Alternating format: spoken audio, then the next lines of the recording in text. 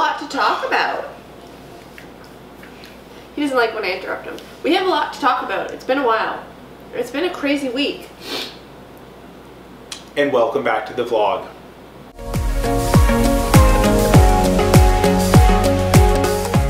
So we made it back from Bermuda, safe and sound.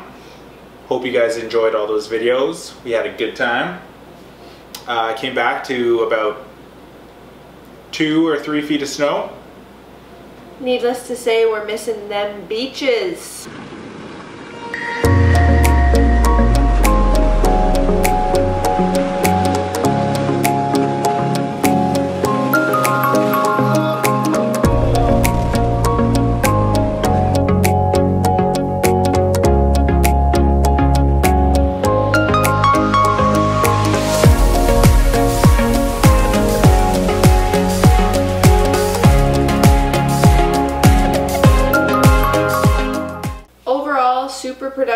Training camp. Um, great little kickstart to the year. Awesome country. 10 out of 10 would go back. You're doing something right, Bermuda. Low key want a honeymoon there, but it's too expensive. Sorry. Sorry, Bermuda. Uh, so when I was uh, down there, got some pretty sweet news, but we're gonna put a pin in that for later. Have you ever said that before in your entire life? We flew back on Tuesday. Um, probably got back home in London at like 1 1 a.m. on the Wednesday. Yeah. Yeah. Um, we'll never again leave our car on campus when we go away for an extended period of time in the winter because we got back and our car was buried under a lot of snow and we didn't have a snow brush in the car. There was this much snow and like this much ice. Yeah. And no snow brush. Uh, so shout out to our chiropractor Evan for letting us borrow his uh, snow brush because otherwise uh, the car would still be there. So my last week was very chaotic because, um, like I said, we got back to London around like 1 a.m. on the Wednesday, and then that evening on the Wednesday, I actually flew to Sudbury for a speaking engagement. Uh, was supposed to fly back um, Thursday evening, and then Taylor and I were going to drive to Windsor together for uh, to compete at Can-Ams but weather was so horrendous last week that um, no flights were coming into or out of Sudbury. I was stranded in Sudbury until Friday morning. Very stressful. Went to the airport at 5 a.m. to take a 7.30 a.m. flight, but that got pushed back to 1. Ended up having to fly straight into Windsor as opposed to London and then driving to Windsor. Um, I drove to Windsor, and this is what it looked like.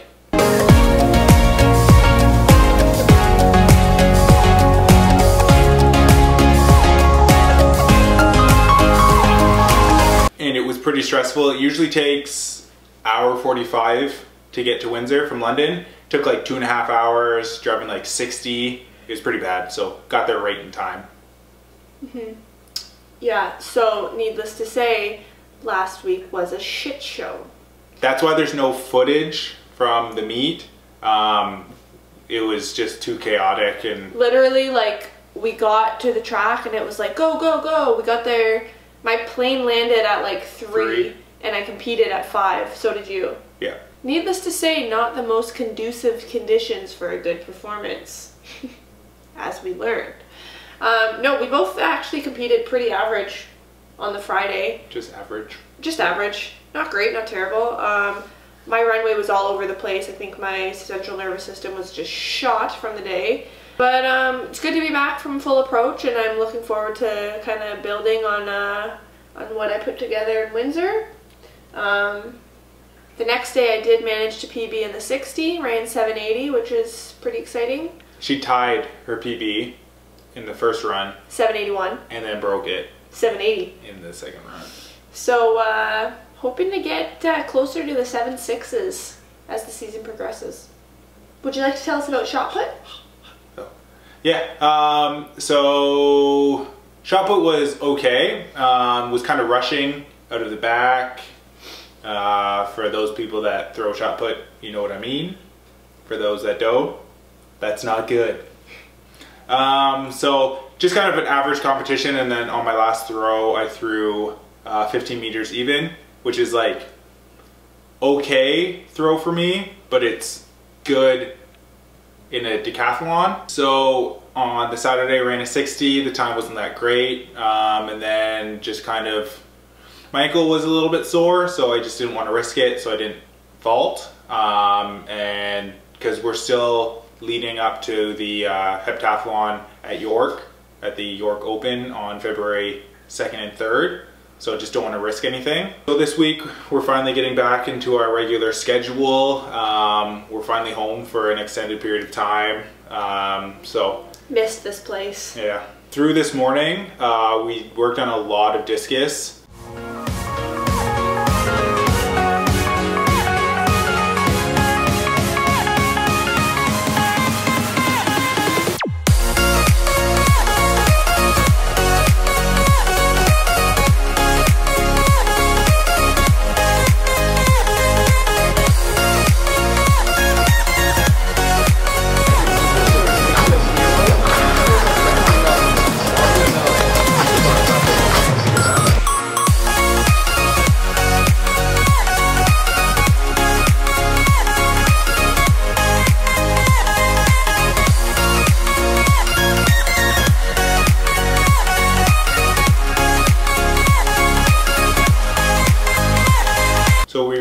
Worked on like turning and just getting really fluid with the motions. Uh, like you guys saw in the Bermuda, it just looks really awkward. I'm still really rigid, so I'm just trying to smooth that out.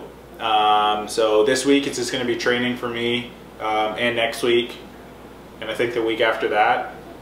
Um, I'm not competing at Don Wright this week, um, just because I want to get a good solid training session in training block, I should say.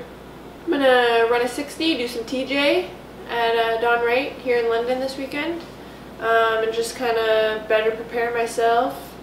Um, because the following weekend I'm actually gonna go to New York to compete. Um, there's gonna be some good triple jumpers there, so I'm looking forward to uh, having a good comp there. So just working towards that. So you might be wondering, what's the big news? Did they just make the title of that vlog, We Have Big News, as clickbait? Yes. Got him! Got him! We actually have big news. Just take the pin out of this. Yeah, pin removed. So, when we were down in Bermuda, I got a great email that I had made the Commonwealth team.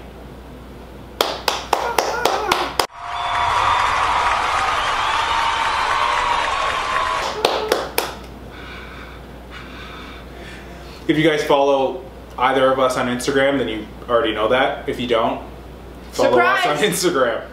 So that was like really good news uh, that I received. Um, super excited. This is like the biggest games that I've made in either long jump or the decathlon. So it's going to be really interesting, fun, scary. So I, me and Damian have never done a decathlon together. So that's going to be pretty cool that we can compete together. I can try to keep up with him. He can try to throw as far as me. You know. It's also really cool that Canada will have three decathletes at these games. Oh yeah, yeah. The fact that Damian, Taylor, and Pierce all made it, that's pretty amazing. I was asking Vicky, um, when's the last time like three decathletes have like made a team, and she couldn't really think of the time. So if you guys know, Comment below. comment. If it's never happened, comment. So these past like two months have been pretty hard on us. Um, so about three months ago, I got another great email to say that I was on the carding list. Uh, the carding list is just national funding for track and field athletes. Um, it's a pretty big uh, chunk of change um, for an athlete like myself. But then five weeks after receiving that email, um, I got another email saying that the National Sport Organization had made a mistake and I wasn't actually getting the funding. Um, so that's pretty hard for. What? Fired up. No comment. So yeah, that's pretty. That's pretty hard for an athlete like myself and Caroline um, because we dedicate so much time to pursuing this dream, and it's really hard to like for us to work um, and like be able to support ourselves. So that was pretty hard. Um, went through a couple things mentally, emotionally, but we got through it. And you also have to keep in mind that in those five weeks that you thought you were carded, you made plans for your entire upcoming season. So you had a certain vision of what this next year was going to look like because money was suddenly, for the first time, not an issue for you. And then, you know, five weeks later, that goes up in flames. Um, that's really tough.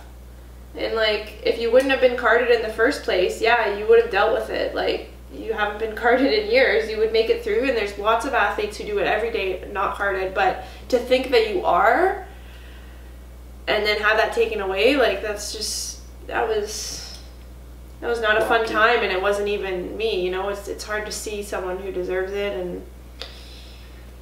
Anyways, there's a lot more that can be said about that situation, but uh, We'll put a pin in that. yeah, forever and never talk about it again because uh eh, let's just not go there. Yeah. All right, let's lighten things up a bit. Uh, we're gonna finish off with some Australian trivia for you, mate. Um, you might be wondering, Caroline, you didn't make the Commonwealth team. Your man did. Are you still gonna go to Australia? The answer is yes. Yes, I am. That's all. But I need to support this this little critter.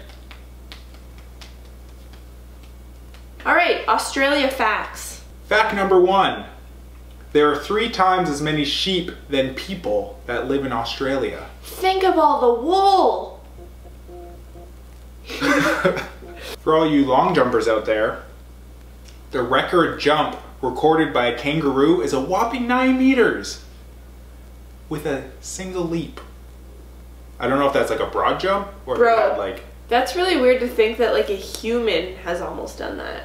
Here's a good one. Koalas sleep about 20 hours a day. You're doing it right, koala. Goals. Kangaroos and emus cannot walk backward. One of the reasons that they're on the Australian co- coat of arms. So I liked the beginning of that fact, but I don't know why that has anything to do with why they made it onto the coat of arms. All right, so we're gonna do some trivia. Here we go. Questions are for you. I'm going to read Australian slang terms. You will guess them. G'day, G'day, hello. Arvo. I don't know if that's an Australian accent, but No, that wasn't. that's not a knife. This is a knife, Arvo. Um, like how you doing? No, wrong. Arvo, afternoon. barbie.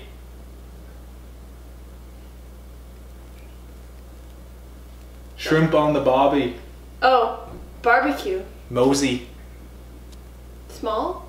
No. No. Go? No. I don't know. The Mozzies are bad today. The bugs? Mosquitoes. Oh. Thongs. Sandals. Yep. Thanks for watching our little update vid.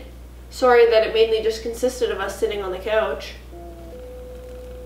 You know what? No, I'm not Whoa. sorry. Whoa. Wow. Shout out to all those new subscribers. We went up like 15. So you guys know who you are. Thanks for subscribing. Welcome. Welcome. Keep them coming. What is What is on? happening? Welcome. Welcome. Bye. Bye. so far away.